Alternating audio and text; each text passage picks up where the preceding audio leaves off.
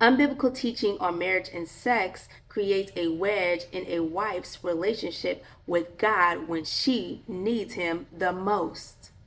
Christians need to be clear on God's design for sex so that we do not add chaos that is already occurring in the heart and mind of victims.